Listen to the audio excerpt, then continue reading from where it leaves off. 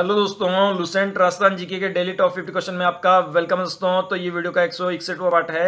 इससे पहले भी 160 पार्ट बनाए जा चुके हैं, वो भी आप चैनल पे जाकर देख सकते हैं।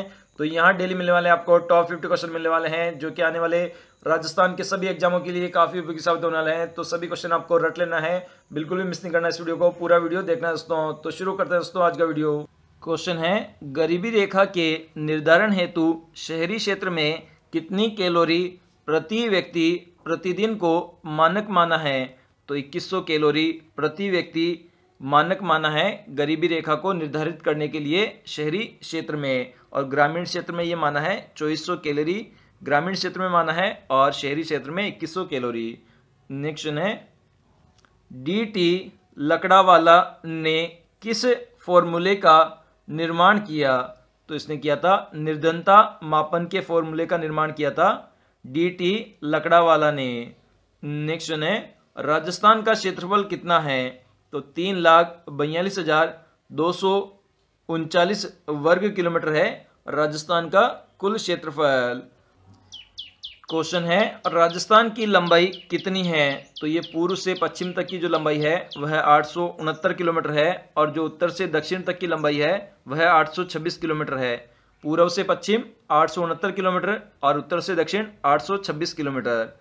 नेक्स्ट है, राजस्थान का क्षेत्रफल, भारत के क्षेत्रफल का कितना प्रतिशत है? तो ये दस पॉइंट चार एक परसेंट है भारत के कुल क्षेत्रफल का, राजस्थान का क्षेत्रफल। और ये पहले स्थान पर आता है राजस्थान राज्य क्षेत्रफल के मामले में।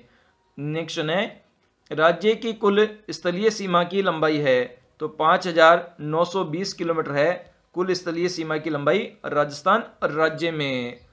नेक्स्ट क्वेश्चन है राजस्थान की पाकिस्तान से लगती सर्वाधिक लंबी सीमा वाला जिला कौन सा है?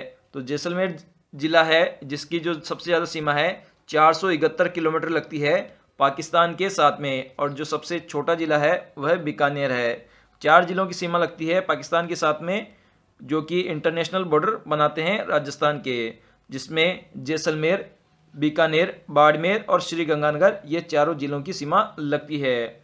नेक्स्ट है, राजस्थान की सीमा किस राज्य से सर्वाधिक लंबाई पर लगती है? तो मध्य प्रदेश राज्य से लगती है। नेक्स्ट है, राजस्थान की सीमा सबसे कम किस राज्य से लगती है? तो पंजाब से तो सबसे कम लगती है और सबसे ज़्यादा मध्य प्रदेश से लगती है।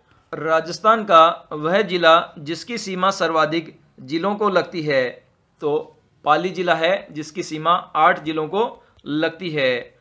नेक्स्ट है राजस्थान की सीमा से लगे पड़ोसी राज्य है तो इसमें है दक्षिण पश्चिम में गुजरात स्थित है, दक्षिण पूर्व में मध्य प्रदेश स्थित है, उत्तर में पंजाब स्थित है, उत्तर पूर्व में उत्तर प्रदेश और हरियाणा स्थित है।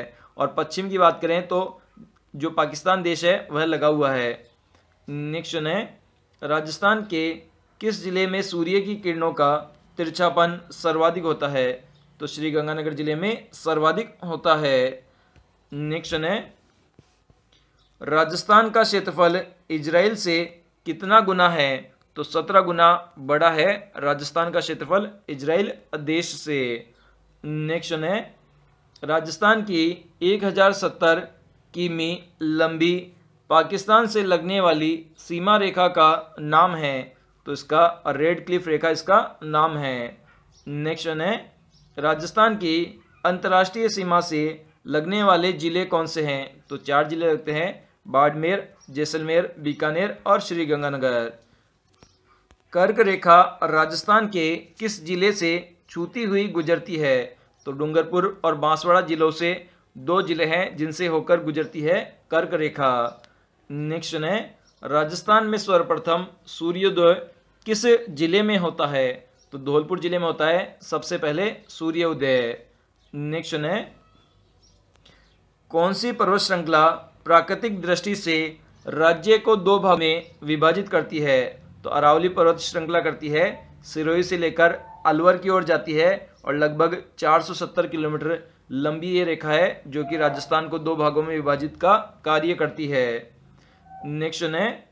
अरावली पर्वत श्रृंखला की राजस्थान में कुल लंबाई कितनी है? तो 550 किलोमीटर है। अरावली पर्वत श्रृंखला की कुल लंबाई जो कि राजस्थान से गुजरती है। नेक्स्ट है। अरावली पर्वत श्रृंखला के सर्वोच्च पर्वत शिखर है। तो गुरु शिखर है। इसकी ऊंचाई 727 मीटर है। कुछ किताबों में 722 मीटर लिख रखा है। तो दोनों ही ऑप्शन बिल्कुल सही है। और ये माउंट आबू सिरोही में स्थित है। नेक्स्ट है, राजस्थान में संभाग और जिलों की संख्या तो संभाग सात है और ज़िले तैतीस है। नेक्स्ट है, राजस्थान में छप्पनिया अकाल किस वर्ष पड़ा? तो उन्नीस सौ छप्पन विक्रम संवत में पड़ा था। नेक्स्ट है, राजस्थान में मानसून वर्षा किस दिशा में बढ़ती है? तो दक्षिण पश्चिम से उत्तर पूर्व की दिशा में बढ़ती है। मानसून वर्षा। नेक्स्ट है राजस्थान में सर्दियों में वर्षा मुख्यतः होती है तो उत्तर पश्चिम हवाओं से होती है, मुख्यतः वर्षा सर्दियों में। नेक्स्ट है राजस्थान में सबसे अधिक वर्षा वाला स्थान कौन सा है? तो माउंट आबू है, जहाँ पर सबसे अधिक वर्षा होती है। नेक्स्ट है राजस्थान का सबसे अधिक वर्षा वाला जिला कौन सा है? तो झालावाड़ जिला है। नेक्स्ट है, राजस्थान में सबसे कम वर्षा वाला जिला कौन सा है? तो जैसलमेर जिला है, जहाँ पर सबसे कम वर्षा होती है। नेक्स्ट है, जून माह में सूर्य किस ज़िले में लंबवत चमकता है? तो बांसवाड़ा ज़िले में लंबवत चमकता है, जून माह में सूर्य। नेक्स्ट है, राजस्थान में पूर्ण मरुस्थल वाले ज़िले हैं तो जैसलमेर और बाड़मेर दो ज़िले हैं। जो कि पूर्ण मरुस्थल वाले ज़िले हैं। नेक्स्ट है, उड़िया पठार किस ज़िले में स्थित है? तो ये सिरोही ज़िले में स्थित है। नेक्स्ट है, गोगुंदा और कुंभलगढ़ के मध्य का भाग कहलाता है तो इसे भोराट का पठार कहते हैं। नेक्स्ट है, राजस्थान में पूर्णतः वनस्पति रहित क्षेत्र है तो समगांव है, जो कि जैसलमेर ज़िले में स्थित है। यह पूर्णतः वनस्पति रहित क्षेत्र है।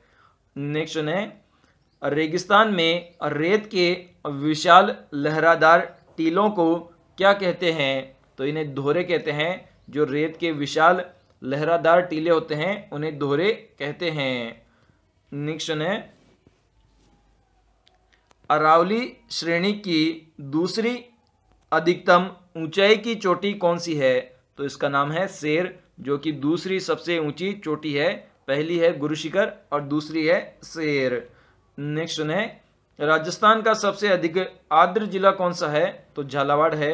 नेक्स्ट है, राजस्थान का सबसे अधिक आर्द्र स्थान कौन सा है? तो माउंट आबू है सिरोही। स्थान की बात आए तो माउंट आबू लिखना है, ज़िले की बात आए तो झालावाड़ लिखना है। नेक्स्ट है, राजस्थान का सर्वाधिक शुष्क स्थान कौन सा है? तो फलोदी जोधपुर है, सर्वाधिक शुष्क स्थान।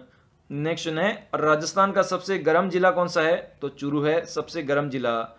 नेक्स्ट है, राजस्थान का सर्वाधिक ठंडा स्थान कौन सा है? तो माउंट आबू है, सर्वाधिक ठंडा स्थान। नेक्स्ट है, राजस्थान में सर्वाधिक लू और आंधियों वाला जिला कौन सा है?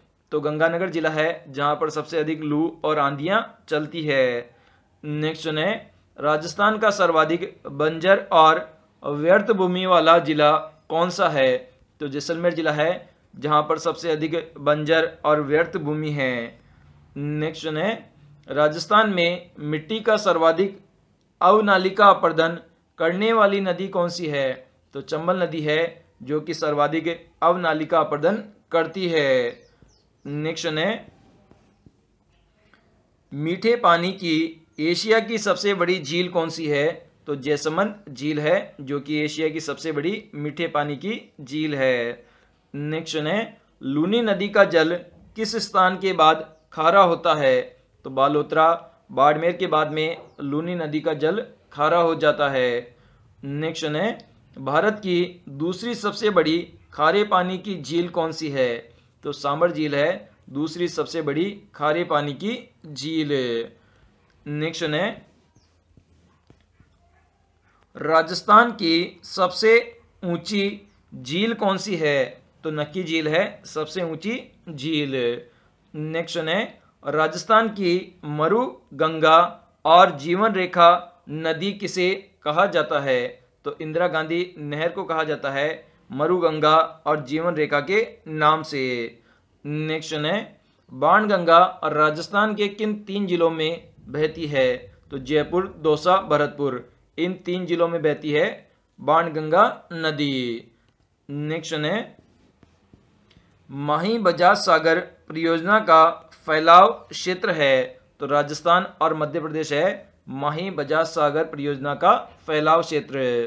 नेक्स्ट है बनी ठनी पेंटिंग शैली का संबंध किस शहर से है? तो किशनगढ़ से संबंधित है बनी ठनी पेंटिंग शैली।